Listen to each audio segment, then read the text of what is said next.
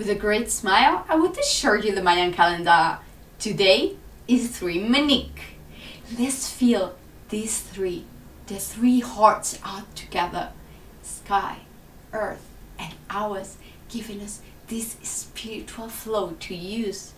Manik is the power of love, the one that we are. This great medicine, Medicine that that- we can give to everybody. And the more, the more we give, the more, the more we have because we multiply it.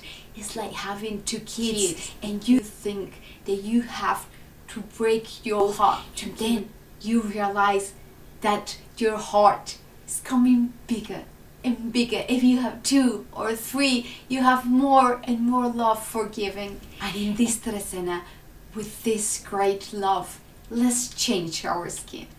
Que si esto es para ti, ¿por qué no le preguntas a tu corazón?